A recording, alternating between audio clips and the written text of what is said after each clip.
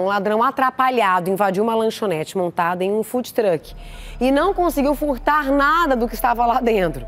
O pior de tudo é que o bandido aprontou uma quebradeira danada e deixou um prejuízo de 5 mil reais, sem furtar nada. Olha aqui. O bandido que aparece nas imagens teve tempo para fazer a maior bagunça dentro do food truck.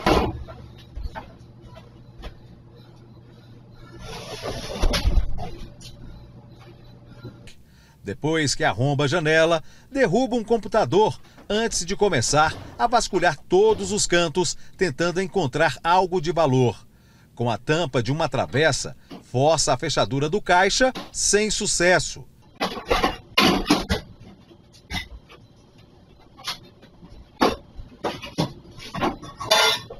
O lugar está escuro, mas toda a ação é registrada pelas câmeras de infravermelho.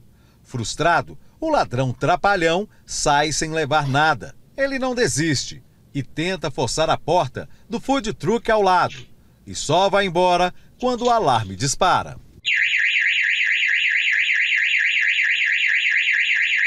Inicialmente a gente teve mais raiva, medo, até chegar aqui. Quando a gente chegou aqui, que a gente viu que estava tudo aqui, aí a gente já, o medo já começou assim... É, é, um alívio. Né? É, já começou a ter um alívio que o prejuízo teria sido somente a porta, né? A caixa de som que tinha ali era mais cara, era o que a gente ficou mais preocupado, então ela estava intacta e isso foi a primeira coisa. Os computadores também, os tablets de atendimento, estava tudo ok. Aí a gente começou a ter um ar, né? De, o ar de medo ele começou a, a se esvair para entrar um ar de, de, nossa, como que o cara consegue fazer algo? É um ninja, né? É um ninja.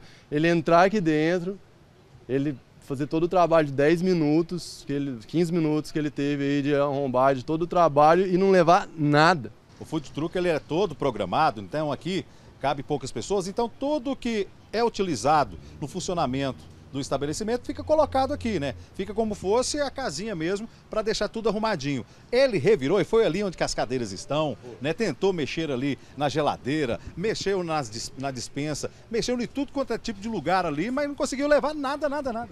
Nada, ele entrou, ele forçou bastante o caixa, só que o caixa ele é parafusado, então não, por dentro tem que abrir o caixa para ter acesso aos parafusos. Então ele não teve como tirar o caixa.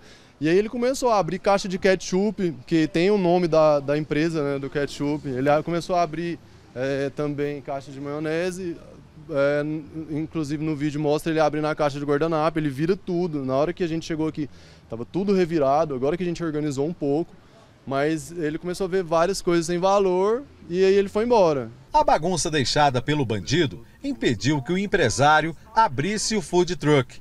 O comerciante reclama de um prejuízo de quase 5 mil reais e pede reforço no policiamento no setor Eldorado Oeste.